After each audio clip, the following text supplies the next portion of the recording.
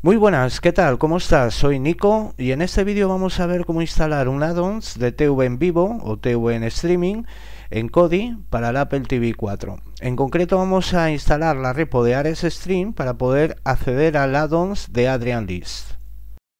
Así que vamos allá. Entramos en Kodi.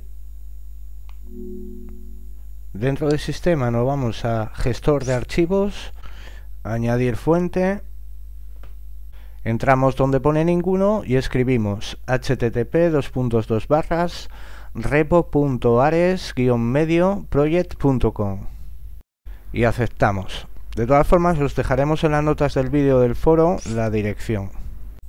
Y donde pone introduce un nombre escribimos Ares. Bajamos hasta donde pone OK. Ya tenemos la fuente ya tenemos la repo de Ares. Entramos en ella para ver que hay algo, en este caso plugins. Bien.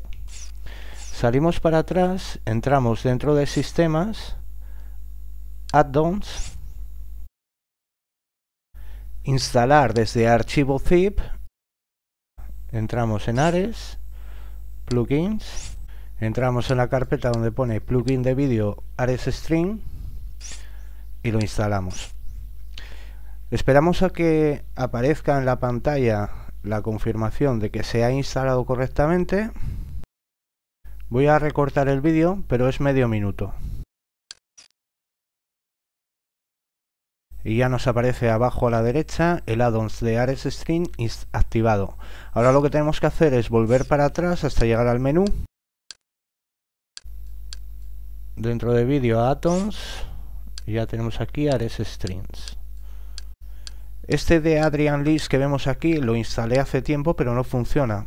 Pero de todas formas está incorporado en el add-ons de Ares String. Si entramos dentro nos aparece por ejemplo televisión en vivo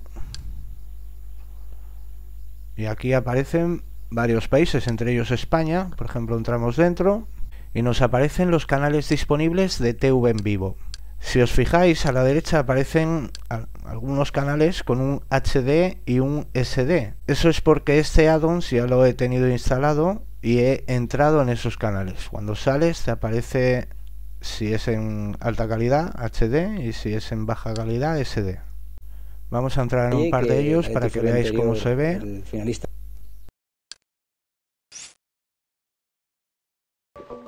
Disculpe, ¿trabaja aquí?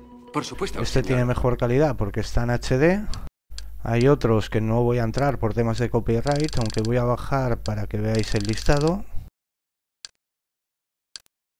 Como podemos ver, la mayoría de estos canales son del Plus.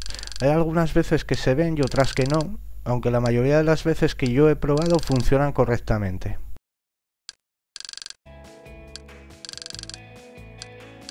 Cualquier duda que tengáis la podéis plantear en el foro de applemaniacos.com y según vayamos haciendo más pruebas iremos colgando más vídeos. Esperamos que os haya servido de ayuda al vídeo, no te olvides de suscribirte y pulsar manita arriba. Como siempre, os mandamos un saludo, nos vemos en el foro o en el próximo vídeo. Hasta luego.